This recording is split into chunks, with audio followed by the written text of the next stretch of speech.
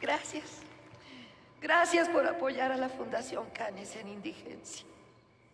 Porque todavía hay gente sin corazón y sin conciencia que no tiene amor ni respeto por estos animalitos.